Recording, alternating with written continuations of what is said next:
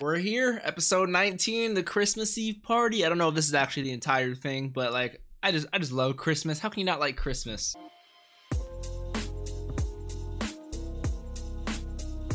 What's up, Dapper Squad? It's your boy Darius back at it again with Toradora, episode 19. Last episode we had Oh, we had some ups and downs. We had building uh well, we had a weird conversation with Ami talking about our relationship with Taiga. Then we built a really nice tree and then Minorin actually accidentally destroyed it.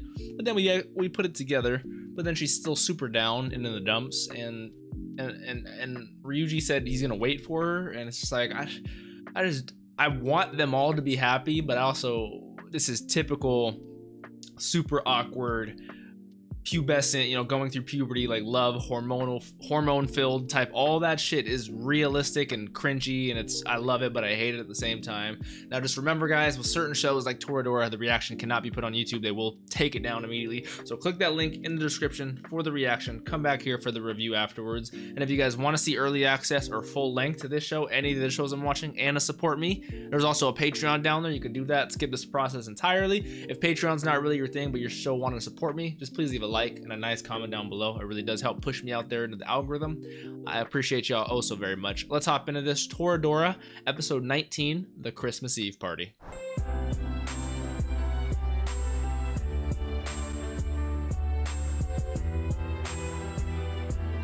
Uh, well,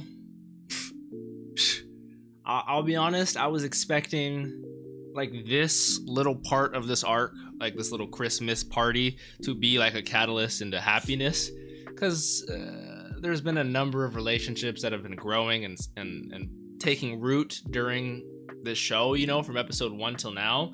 But it, it has been very convoluted, like roots. Like they have been intermingling, intertwining to the point where so many people have so many different feelings for so many different people you know like i would say the only one that was pretty cut clear and dry was kano and kitamura and i'm thankful for that because let's say kitamura did like Kushieda or something, you know, then it'd be Kushieda likes Ryuji, Ryuji likes Kushieda, uh, uh, Taiga likes Kitamura, but actually Ryuji, Ryuji likes Kushieda, but actually Taiga, and Kitamura's just off doing his naked little Santa. I'm just like, you know what I'm saying?